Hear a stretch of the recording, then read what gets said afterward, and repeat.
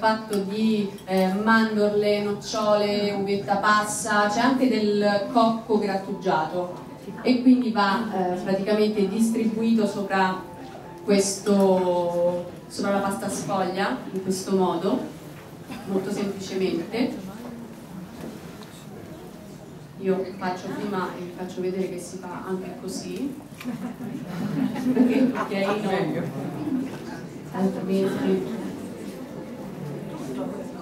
sì. Eh, per chi è a dieta è sconsigliato, eh? oppure mangia questo e poi sta una settimana senza mangiare proprio nulla. Okay.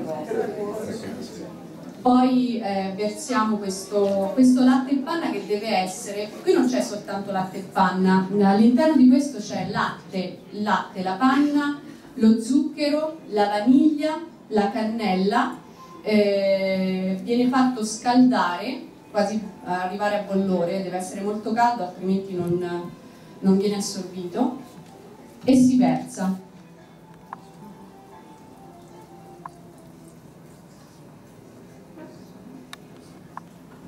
Ce ne vuole, insomma questa la ciotola è abbastanza grande, quindi siccome la pasta sfoglia assorbe, insomma ce ne vuole un pochino, questi sono due litri eh, la dose è intorno ai 150 grammi, 200 grammi di pasta sfoglia e quasi un litro di... Sì. Eh,